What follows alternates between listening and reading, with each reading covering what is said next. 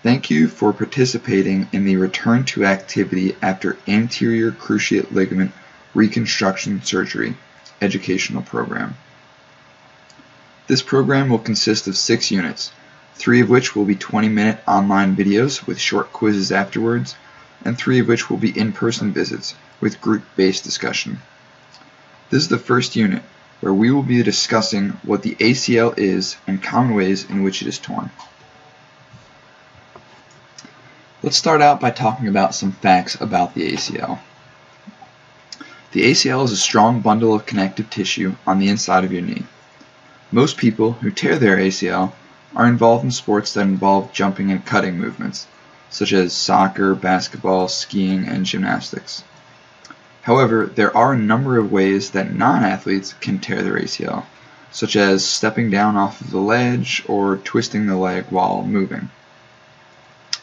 There are approximately 100,000 ACL ruptures in the United States every single year, which is an astounding number, and approximately 70% of these tears are a non-contact in nature injury, which means that these injuries occur not because of a direct blow from another player, but because of, um, for example, landing wrong from a jump or having your leg give out while you're trying to cut. So we call these non-contact injuries, and 70% of ACL injuries are non-contact injuries. Another fact is that women are almost six times more likely than men to tear their ACL. And physical therapists are trained to help individuals with ACL tears and ACL reconstructions to reduce pain and swelling, regain strength and movement, and to return to desired activities. So let's break down the components of the ACL. ACL means anterior cruciate ligament. And so anterior means that it sits on the front of the knee. So there's two ligaments that cross the knee, which cross is where cruciate comes into play. So cruciate means cross. There's two ligaments that cross the knee, the anterior cruciate ligament and the posterior cruciate ligament, and they're named for how they attach to the tibia. So the anterior cruciate ligament attaches to the anterior or front of the tibia, whereas the posterior cruciate ligament attaches to the posterior or back of the tibia, with the tibia being your shin bone, of course. And so the, the anterior cruciate ligament attaches posteriorly to the femur or on the back of your thigh and in the front of your shin. And the posterior cruciate ligament does the opposite of that. And finally, the last part of this name is ligament, which means that it is a passive tissue Ligaments connect bone to bone, and they are passive tissues. That means that they cannot be activated like muscle can. And this, these two ligaments that cross form a stable structure which prevent the femur from sliding forward or backwards or side to side or other motions like we'll talk about later. Um, so it prevents different types of knee motions from occurring. So we mentioned that ligaments are passive tissues um, and we said that that makes them different from muscles because muscles are active tissues. So let's just compare and contrast ligaments and muscles. Passive tissues obviously mean that they cannot be contracted. So in muscle, your brain sends signals down to your muscle which causes it to contract and generate force and shorten, whereas ligaments do not have this ability and create force by being lengthened or pulled. Muscles and ligaments are also very different in the sense that muscles are a highly adaptive tissue, meaning that they can increase or decrease their force generating capacity to the physical demands that you place on them. So we all know that someone who goes to the gym gets big and bulky and they get stronger, so their muscles are growing, becoming stronger uh, and bigger.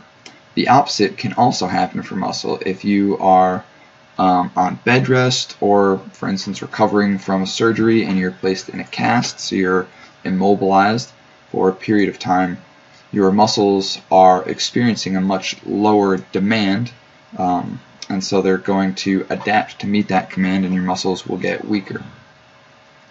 So the ligament can adapt, so the ligaments do change their strength with time. Um, for example, during development, you are growing and getting bigger. Your ligaments do grow. Uh, it's just a much slower process than that senior muscle. So let's talk about some knee postures or knee motions that are known to strain the ACL or pull the ACL and are thought to believe to be involved with the mechanism of how ACL injuries can occur. So the first is rotation, as you see in this picture in the top right. The femur or thigh is rotating in the opposite direction of the shin or the tibia, which can cause a strain on the anterior cruciate ligament, um, and again is, could result in a tear. Another way in which the ACL is loaded is through hyperextension or hyperflexion. Um, so these are the extreme limits of the knee's natural movement, extension, flexion, um, or by the shin being pulled outwards. So this is called anterior draw, where your shin is just pulled forwards and your thigh is restraining that, and the anterior cruciate ligament is loaded between the shin and the thigh. Another movement that is known to cause the ACL to be loaded is frontal plane knee movement, um, which is involved in dynamic valgus, as you can see here um, by this series of images. So this is a soccer player who is doing a cutting movement, who also looks like he's decelerating, and you see the knee just kind of buckles and bends inwards, and so his knee is moving closer to the center line of his body, and his foot is moving away in a way that the knee is never supposed to bend. And so this is called dynamic knee valgus, and uh, is also known to load your anterior cruciate ligament and is thought to be involved in ACL injuries. So now we'll talk about how those different loading mechanisms or knee movements that are known to be associated with ACL injuries, how those different movements occur during sports.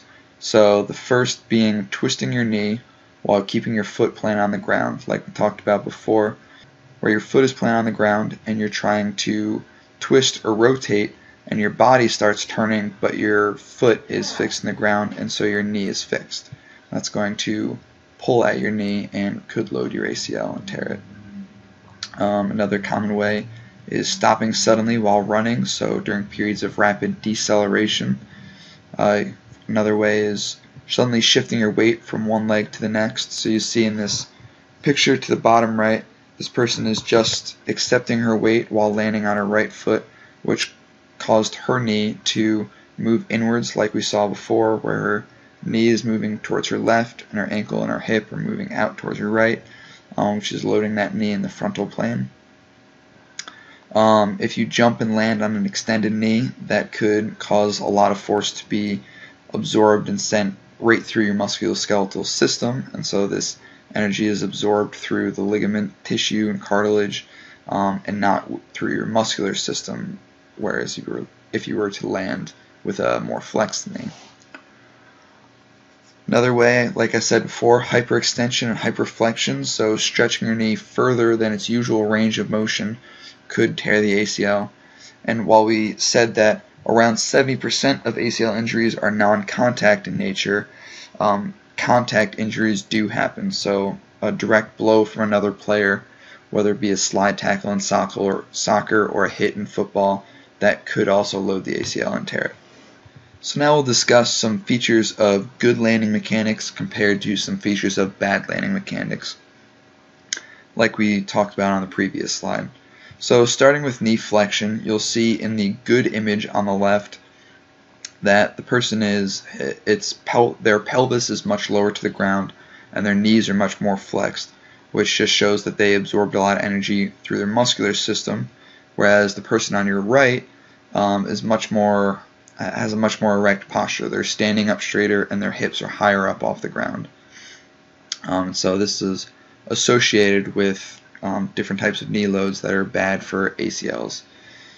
You'll also see that the person on the left with a good landing posture has their knees right over their ankles, so this is preventing frontal plane or out of plane knee movement, whereas the person on the left or on the right, it looks like their knees are sort of knocking together or moving closer together, and they're pushed away a distance away from their ankle.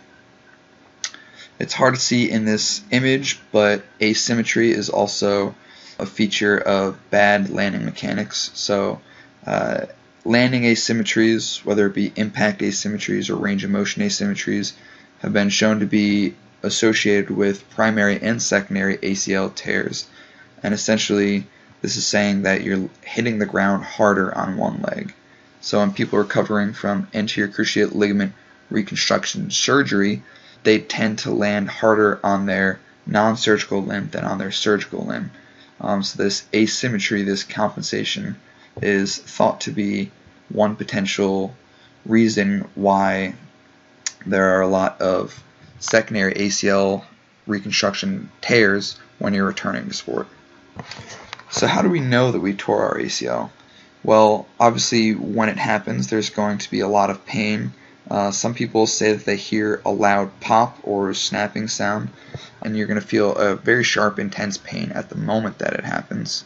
Following this you'll likely have an inability to walk normally and bear weight um, partially because of swelling, partially because of pain and you'll also feel kind of unstable when you're moving and not be able to feel where your leg is in space as well. So proprioception is your ability to feel where your legs and limbs are in space while closing your eye. For example, you can flex and extend your leg while closing your eye, and you still know generally how your leg is oriented. This is proprioception, and that's often altered um, when you tear your ACL. So we mentioned that tearing the ACL will be painful. Uh, so a brief word about pain. Everyone experiences pain. Um, however, everyone has their own individual perception of pain. This perception of pain is typically describing the severity of a stimulus or injury. And it has both physical and mental components, where the body is sensing the severity of an injury, whether it be a pinprick, uh, bee sting or an ACL rupture. It's sensing the severity of this injury, and your brain has to figure out how to interpret this stimulus that it is now receiving. However, the brain is constantly receiving a large amount of information from the body, and that can make it hard to understand the difference between things like pain and discomfort and apprehension and fear. And so it's important to be able to differentiate between these different sensations or phenomenon. For this study, remember that we are defining pain as the discomfort, both physical and mental, directly associated with your injury and not normal soreness or weakness associated with exercise. We mentioned before that uh, once you've torn your ACL and eventually once you get your ACL reconstructed, that people typically have problems with gait and balance or walking and balance. The most typical feature of walking seen in persons with ACL reconstructions uh, is asymmetry, like we talked before in jumping and landing. Asymmetry is also present in individuals following ACL reconstruction surgery uh, during walking. And here we see that throughout the gait cycle, the surgical limb is essentially kept in a more flexed position and contributes less to decelerating and accelerating the body during heel strike and toe off. So essentially, what we're describing is a limp. People who walk with a limp, their leg is a little bit more flexed, and there's just they're decreasing the amount of force that goes through this leg while they're walking. Uh, and this gait pattern is called quadriceps avoidance, where you're trying to use your quadriceps less and generate lower magnitudes of force that will be transmitted through these painful and healing tissues.